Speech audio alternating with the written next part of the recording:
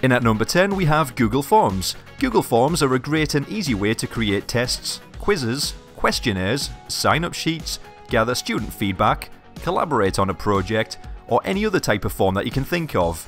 Easy to set up and embed in GCU Learn, and students can interact with the form, filling in the required information and submit. The possibilities are endless.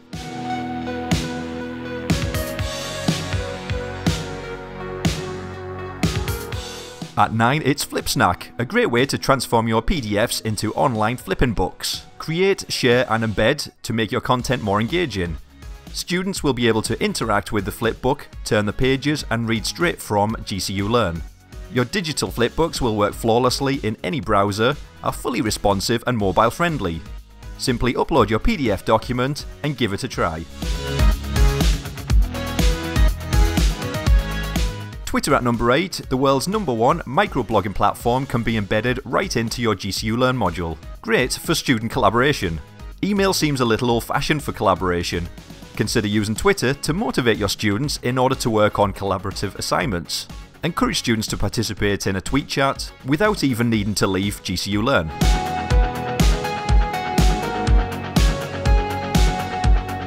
A new entry at number 7 with Leganto, the reading list solution implemented by our very own library to help improve the teaching and learning experience. Easily create, share and manage course reading lists for your students right inside your GCU Learn module. Add citations from the web, library search, manually, or import from existing citation tools. Leganto looks modern, is interactive and works great on all platforms and mobile devices. No move at number 6 for this on-demand TV and radio for education service Bob Box of Broadcasts. Their academically focused system allows staff and students to record programs from over 65 free-to-air channels. Search their extensive archive with over 2 million TV and radio broadcasts. You're sure to find some great resources to embed into your module.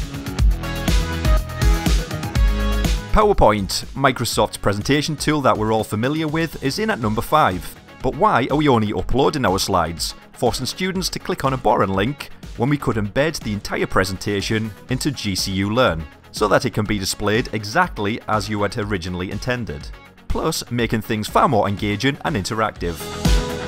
Even better, why not keep the PowerPoint presentations for the classroom and instead use Sway, in at number 4 for your online presentations. Sway is easy to use, allowing you to create and share interactive reports and presentations completely online. Sway is modern and is probably the number one tool for creating great interactive and visually interesting content. Collaborate better and be more productive with Padlet at number 3. With this free online virtual wall tool, you can make beautiful boards, documents and web pages that are easy for students to read and contribute to. YouTube is in at number 2, easily embed YouTube videos into your module to use as interactive resources. Being able to watch the video direct inside GCU Learn is far more engaging for students than clicking a link. And no move at number 1 for EdShare, a fantastic tool from the GCU library. Simply upload your own videos and then embed them directly into GCU Learn. Unlike uploading videos directly to Blackboard, EdShare has unlimited storage, so you can upload as many videos as you want, and you have far more control than you do over YouTube videos.